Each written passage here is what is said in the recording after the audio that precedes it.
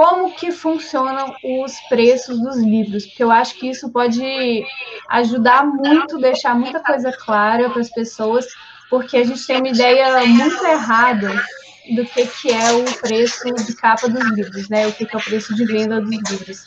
Para a editora de, é, definir um preço de capa de um livro, é, muita gente também pensa que as editoras são super mercenárias, né? Você vê aquele livro, você pega essas editoras tipo, sei lá, Dark Side, que tem um, um preço de capa dos livros, assim, o mais barato vai custar R$ 49,90 e olhe lá.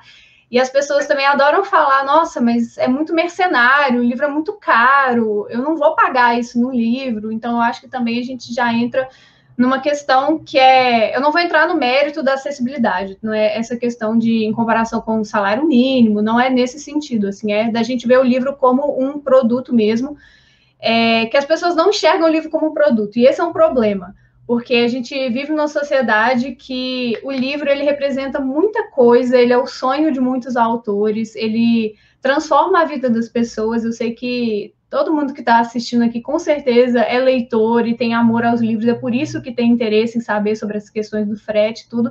Então a gente coloca uma carga no livro que às vezes a gente tira ele do patamar de produto. E quando a gente faz isso, é, é muito positivo, por um lado, porque aí você cria paixão pela literatura, pelas histórias, só que você também não enxerga o livro como um produto, então você não vê valor monetário naquilo. Então, para explicar um pouquinho do, do preço de capa, eu vou tentar ser, falar de uma forma bem resumida, porque é muita coisa. É, mas a gente tem basicamente assim, três elementos-chave para a precificação do livro e são três grandes blocos, assim.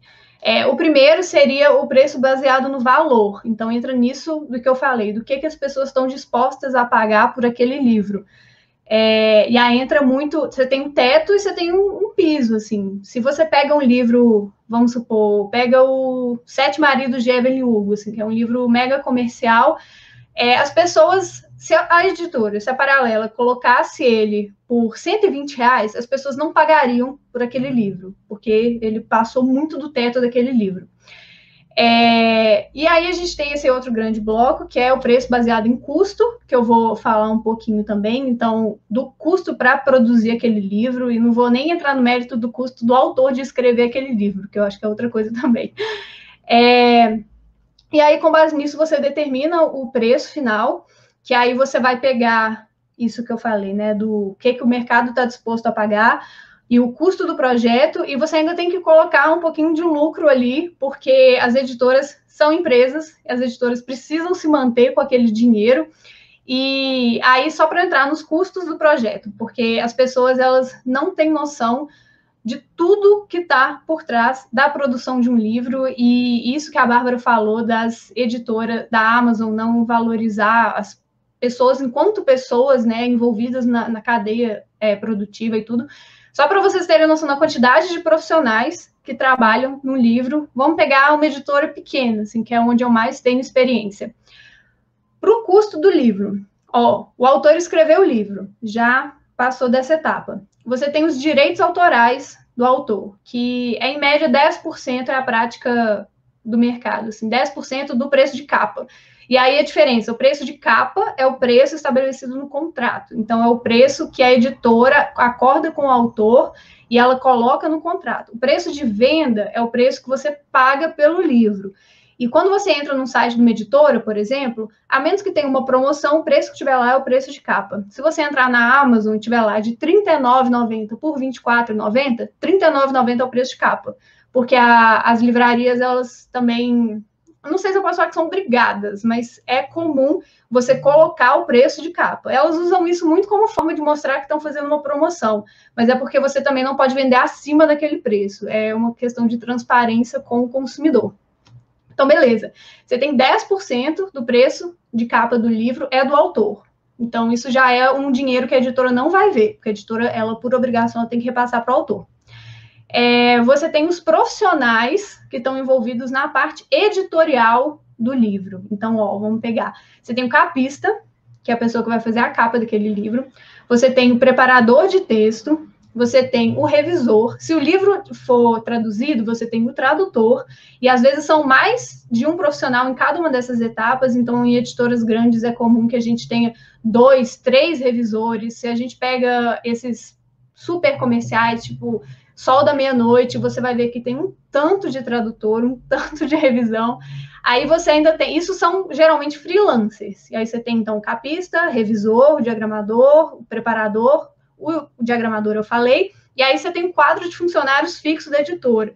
Então você vai ter o editor, que vai estar por trás daquele livro, às vezes tem mais de um, você tem o editor, você tem o assistente editorial, você tem a pessoa que vai ficar responsável pela coordenação da produção editorial, então a pessoa que vai fazer a ponte entre todos esses funcionários, porque nem sempre eles conversam entre si, você tem a pessoa que é encarregada de ficar por conta de fazer isso tudo acontecer. Essa era a minha função, por exemplo, então eu ficava em contato com todos os profissionais para fazer isso acontecer e cumprir prazos. É, e aí você termina os custos editoriais, você tem os custos de marketing, então você tem. Isso depende muito de editora para editora. Tem editora que, é, calcu, quando calcula, porque nem todo mundo investe em marketing, é, a editora calcula ou pelo preço do. pelo custo daquele projeto, então faz uma porcentagem, ou por lucro anual, ou por mês, tem a cota que a gente. Então, sim, isso varia muito de editora para editora, mas é um custo que tem aí já, e é um dinheiro que não necessariamente você vai ver de volta, mas já está previsto em todo o seu planejamento financeiro. A gente tem, que o Neto falou, da embalagem, da logística, do frete, e a gente tem um dos custos que são os mais expressivos, que é o custo da impressão, que é um custo enorme, enorme. Ele é um dos maiores custos que a gente tem, e a gente entra num problema aqui no Brasil também, que é na questão da tiragem. Então, isso que a gente estava falando também da, da Amazon, das empresas, quanto mais tem para enviar, dá para baratear, como, imagina um país que a gente não tem uma grande quantidade de leitores, né, proporcional à população. As tiragens que as editoras fazem são muito pequenas, muito pequenas. Então, como que você consegue baratear? Você não consegue. A gente, as editoras tentam, eu juro que tentam, porque também ninguém quer colocar um preço muito alto num livro se as pessoas não vão comprar, então não adianta nada. Então, tem essa questão da impressão que com tiragens pequenas, quanto menor a tiragem, mais caro vai ser o livro, e não. As editoras, eu já vi várias vezes, assim, na editora, a gente tentar absorver esse custo, então a gente deixa de lucrar o que poderia lucrar, então você deixa de colocar aquela margem, enfim, do, do lucro, você coloca muito menor para você conseguir não passar isso para os leitores, isso acontece muito. É, e a gente tem vários outros fatores que interferem. Então, por exemplo, tem o preço de mercado de acordo com o gênero. Então, a gente vai perceber que Livros jurídicos costumam ter um preço mais alto, livros técnicos, é, livros de trade, né, que são esses mais comerciais, vão ter livros didáticos, então também os livros têm que respeitar essa precificação por, enfim, questão de boas práticas de mercado. A gente tem do segmento daquele livro também, a gente tem do material e do acabamento, que aí entra na, na questão da, da impressão. Então, muita gente adora ver um, um livro de capa dura, costura na lombada, todo ilustrado, colorido, mas você não quer pagar mais de 40 reais por aquele livro. Aí você acha um absurdo, né? Como que eu vou pagar mais de 40 reais no livro da Dark Side, entendeu? É inadmissível, não quero. Então, isso entra também na questão das editoras tentarem baratear. Então, por isso que nem todas as editoras fazem os livros mega artesanais, digamos assim, é, tiragem, tamanho do livro, enfim. Então, esses são os custos que estão só naquele projeto, daquele livro. É, e muitas vezes editoras pequenas trabalham com freelancers nessas outras etapas, então são custos que eles não são fixos, eles são variáveis, porque vai depender da, do tamanho do livro, porque revisor você paga por lauda revisada, tradutor também, é, diagramador por página diagramada mas você tem os gastos que são fixos da editora. Então, imagina, além de você ter que pagar para fazer aquele livro acontecer, você tem todo um quadro de funcionários que você tem que pagar, você tem que pagar aluguel, você tem que pagar manutenção do site, você tem que pagar pelo relacionamento com os clientes. Então, tem que ter uma pessoa para atender os leitores, tem que ter uma pessoa para fazer o contato com o pessoal da logística, se não for uma coisa da editora. Você tem que ter a pessoa que vai levar nos correios, se isso for uma coisa fixa. Então, enfim, tem muitos, muitos custos. As pessoas acham que às vezes é assim: ah, esse livro tem cara de que vai custar R$ 49,90. Vou botar R$ 49,90 e não é assim que funciona, sabe? Eu acho que todas as editoras adorariam vender o livro o mais barato possível, que fosse saudável, porque todo mundo quer um best-seller. Imagina se todas as editoras vendessem os livros a, a um real para todo mundo, tornar a leitura super mega acessível, mas entra nisso que eu falei um pouquinho do, do livro como um produto. E aí a última coisa que eu acho importante assim falar nesse sentido da precificação é que entra muito nisso das livrarias, e aí eu acho que a gente acaba até voltando para a questão da, da Amazon, que pouquíssima gente sabe, quando eu falo, as pessoas ficam chocadas, que as livrarias ficam com 50% do preço de capa do livro. Então, assim, o livro, eu fiz até uma. Isso é prática do mercado, porque entra nisso que a Bárbara falou de consignação, então entra. O buraco é muito mais embaixo também, porque as editoras são meio que obrigadas, porque se elas não fizerem isso, elas não conseguem colocar o livro na vitrine, fazer essa prática de 50%. Até uns anos atrás, tinha algumas redes que cobravam 60% de desconto em consignação. Então você manda, você faz uma tiragem enorme, porque imagina, se você quer o seu livro na livraria, você tem que imprimir aos milhares e milhares de exemplares para chegar lá. Então, beleza, no Brasil todo, né? Aquele best-seller. Aí você imprime uma tiragem enorme, você imprime 20 mil exemplares, que parece pouco, mas é muita coisa, é, para mandar para todas as redes de Saraiva, Cultura, Leitura, e as livrarias fazem consignação. Então, você manda o livro, você não sabe se vai vender, você gastou com todos esses funcionários, porque você não pode virar para o tradutor e falar assim: ah, não vou te pagar só se vender o livro, entendeu? É o trabalho daquela pessoa pagou pela impressão, que é o mais caro de tudo, você fez o livro chegar, pagou frete, pagou toda a logística, o livro está lá na livraria. Vamos supor que desses é, 20 mil exemplares venderam 5 mil. O que, que acontece com esses 15 mil? A livraria devolve para a editora e é o famoso se vira sabe? Então, acontecem queimas de estoque, literalmente queimas de estoque, sabe? Queimar, porque não tem o que fazer com aqueles livros, porque as pessoas não vão comprar, não tem onde vender, porque nem toda é, editora tem e-commerce, né? Tem uma venda direta no site. Acontecem, sim, doações institucionais, enfim, mas é muito comum, porque depois passam uns anos, aquele livro ele fica datado, então imagina dor no coração então já é um problema para as editoras. E quando as livrarias pagam, então beleza, vendeu 5 mil exemplares. Que lindo, a editora vai receber para aqueles 5 mil. Ela vai receber 50%, então é como se ela recebesse 2.500 livros, né, o pagamento de 2.500 livros. E se as livrarias pagarem, porque também não sei se todo mundo sabe, mas a gente viu aí nos últimos anos a Saraiva e a Cultura é, entrar num processo de recuperação judicial basicamente falência, e várias editoras nunca receberam pelos livros. Então, milhões e milhões de reais, principalmente essas grandes editoras, né, que vivem dos livros comerciais, então, das livrarias, estão sem receber e nunca vão receber esse dinheiro. Então, imagina. E a editora é super mercenária, né? Mas aí, só para colocar, assim, no, no papel, só para vocês terem noção, que eu acho que eu gosto de colocar isso que fica mais claro, assim, Vamos supor que o livro vai custar 30 reais. 30 reais é o preço de capa que a editora colocou naquele livro. Então, você já tira aí os 10% do autor, então você já tira 3 reais. Você vai tirar 50% que vai ser da livraria, então você tira 15 reais. Então, a editora ela tem 12 reais, 12 reais do preço do livro para pagar todos os custos. E aí entra a questão do frete, né? Que eu acho legal a gente colocar, porque imagina, a gente, na feira da USP, né, que a, a Bárbara e o Neto falaram muito bem, que foi quando surgiu, né, a, a ideia dessa live, muitas pessoas reclamaram, porque, assim, as editoras estavam fazendo essas práticas de 50% de desconto. Então, olha, compra no meu site e eu vou te passar o mesmo desconto que a Amazon vai te dar, se você comprar no site dela. Mas eu preciso que você pague o frete.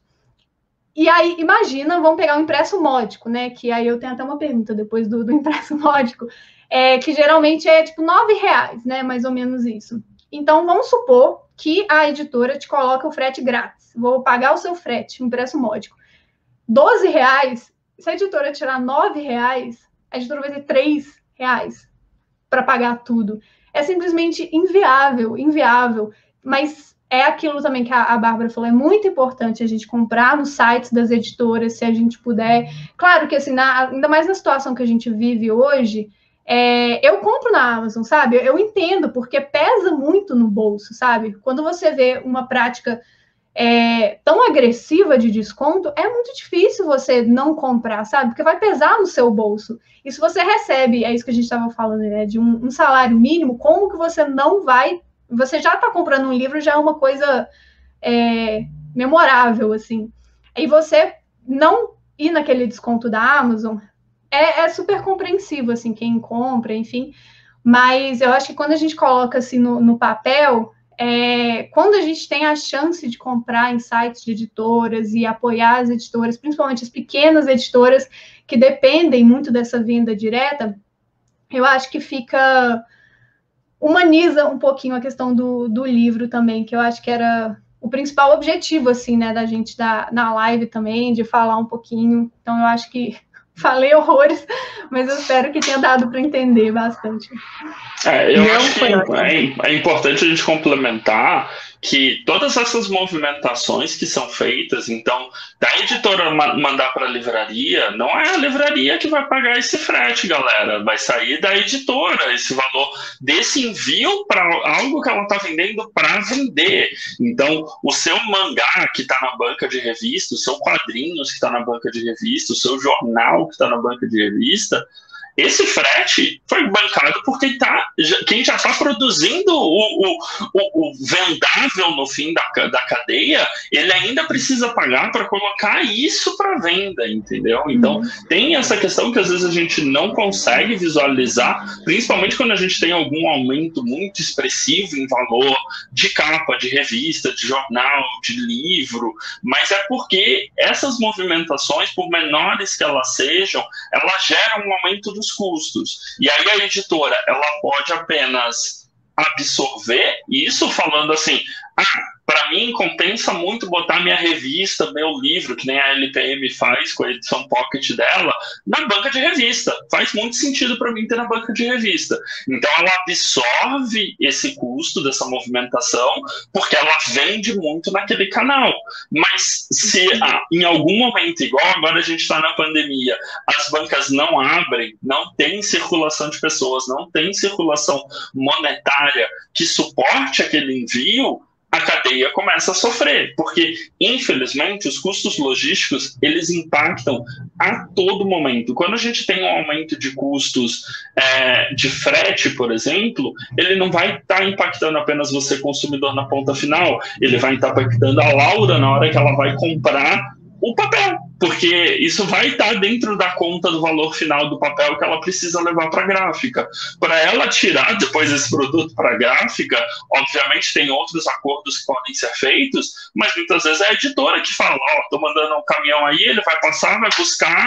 E é isso, porque muitas vezes, se a, se a gráfica faz esse trabalho de entrega até o armazém, até a editora, a gráfica vai cobrar. Então vai muito também da editora saber, cara, gráfica, quanto que você está me cobrando para trazer isso aqui para mim? Ah, é tanto? Não, peraí que eu vou procurar um jeito mais barato de ir coletar. Então tudo isso ele entra no cálculo, né? O frete a gente sente muito quando é só para gente, né? É só para a ponta final, mas ele está em toda a cadeia. Todo o cálculo ele está em toda a cadeia. É cinco reais ali, é seis reais para trazer para um lugar, é 12 reais para mandar para o cliente. Quando você chega no valor final realmente é um montante muito grande, assim.